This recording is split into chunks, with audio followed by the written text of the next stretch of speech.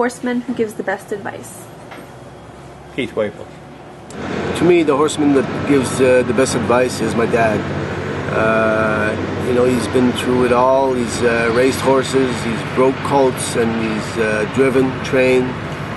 Uh, he's given me uh, great advices uh, throughout my career. Father, Lord Abbott. Bill O'Donnell would be right up, ranked up there for me. Um, an old friend of mine from years ago, Andre Saint Amour, uh, Jimmy Lancaster. Um, those would be about the people. They gave me a lot of advice when I was younger, uh, Jimmy Lancaster and uh, Andre Saint Amour.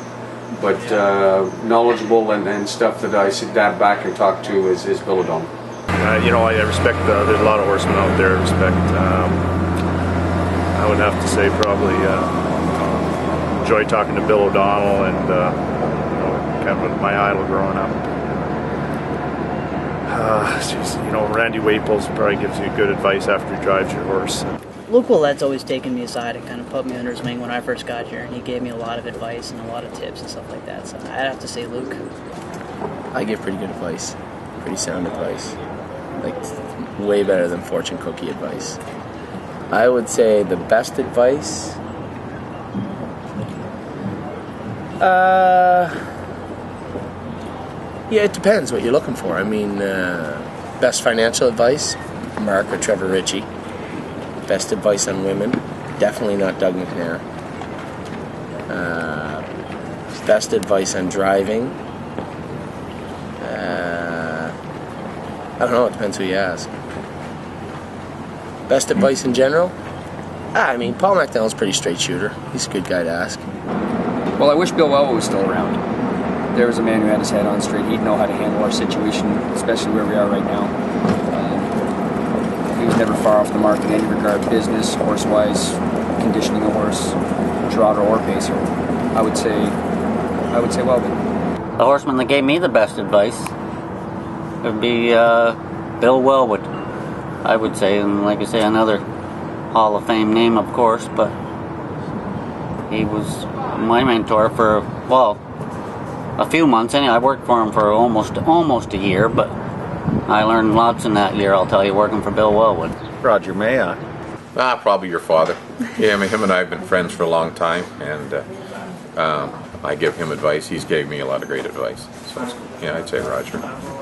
The horseman that gives the best advice, uh, Jeff Gillis seems to have a handle on the entire industry. You know, he has two young boys, and uh, he's raising them up to be uh, athletes, and uh, has a good handle on the on, on the world and uh, the world of sports and, and our industry, and also uh, being a dad and stuff like that. So uh, I think you know he, he, he's a and he's a hell of a horseman. So I, I think he gives uh, some great advice.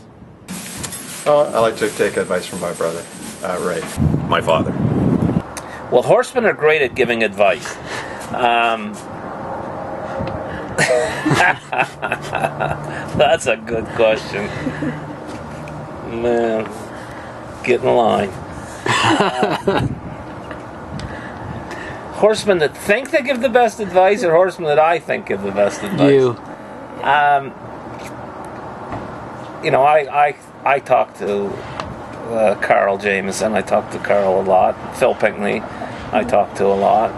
Um, you know, there's it, like I say, it's there's no single person, but both those guys are good. Good, they've been good to me, and they've given me good advice. And like I say, it's no trouble getting advice at a racetrack. There's lots of advice. I mean, MacDonell, uh, MacDonell and I are on the same page when it comes to training young horses and driving young horses and racing young horses. And him and I usually chat, and it's more of a give and take thing with him. Um, but you know, it's hard to hard to go against his recommendations when it comes to driving a horse. When he gets off the bike and hands the lines, he, how he sums the race up is pretty close to how it it probably is. So that's that's what I look for. Well, there's a lot of them give a lot of advice. The first one that gave me the best advice would be Art Porter. Ed Hensley. He told me I was going to cost myself a lot of money. I would say old Bill James. Ron Waples. I've been lucky, you know, my brothers are both pretty good, you know, if they saw me do something or uh, something I shouldn't have or uh, really uh, they they've always been there to help, you know, and uh, they've been very good, whether it be right or not. Uh, other than them, believe it or not, uh, Rick Zeron's been pretty good to me. Like he's, you know, he's. Uh, I've made a few mistakes maybe when I first went to Mohawk or when I first went somewhere else, and he was he was really good about it, and you know, tell me, give me aside and tell me what I did wrong, or or when I used to train a lot of horses, he was always, uh, you know, he was always voicing his opinion anyway, and what he or if I had a question to ask him, he would help me. I would have to say it's Brent McGrath. Um, I always seem to talk to him about horse-related stuff, and he always has has a keen eye on things and a very good perspective of things. So I take to heart quite a bit what he has to say. I think it depends on the situation. I mean, I think that uh, you know we're definitely uh, as much of a, as even though we're competitors on the track, you know, there's definitely camaraderie, and I mean, I think that there's a lot of times we're all bouncing uh, ideas off of each other, and and uh, it's amazing how sometimes you can talk to somebody and ask them a simple question or throw something out there, and they give you the most simple answer, and you go, why didn't I think of that? I mean, you know, and I think that uh, you know different aspects of people. Uh, Linda Toscano and I I, you know, we talk a lot about our horses and this, that, and the other. And uh, I think that uh, given the situation, I think anybody can give you some advice you've never heard before. And it just all of a sudden, hearing it from somebody else, it makes perfectly good sense. There's a lot of them. Everybody wants to help everyone. Um, I, my, my dad always is you know, I'm sure everyone's dad always helps them, and my dad always gives me as much advice as he can because he's he's been doing this for 40 years. The ones you ask, the ones that offer, usually aren't very good advice, but uh, there's been numerous ones for, for me over the years, uh, way back to Bill Carroll and uh, Ray Morrow. They were very good horsemen and uh, used to get a lot of tips from those guys. They, they were excellent horsemen. Well, Paul MacDonell's a very smart individual. He always has something helpful to say and, and can always help you in the in your day-to-day issues because he's got a lot of great horse horsemanship and horse knowledge all around. The horseman that gave me the best advice was uh, Bill Herbert. Uh, he was a, he turned into a great friend of mine. I worked for him for years, and uh, he was a, he was a big mentor for me. My brother, Murray Breather, a few of those fellows, good trainers. To tell you the truth, I get to talk to Tim Tetrick very, very few times when I drive when he drives in the stake races here, and I, I, like hearing what kind of advice he gives, just as, from a driver's perspective, and he's my idol. So uh, I like to hear what he has to say about other uh, other drivers' opinions and uh, how it is driving for him on the racetrack. Well, it used to be my dad, but he died uh, 11 years ago. That was probably my uh, my brother. I have been surrounded by my mentors, Mike LaChance and John Campbell, and uh, these guys are such professionals that um, I was fortunate enough to work for both of them, and um, they have helped me through some pretty tough times and taught me so much that um, I, they're unparalleled as far as I'm concerned. Well, it'd be my dad. He's, you know, I'm not anywhere in my life unless it was for him. You know, he's given me the opportunity to be where I am and give me the drives to drive down here and drive with some of the best drivers in the world. So uh, it'd have to be my dad, that's for sure.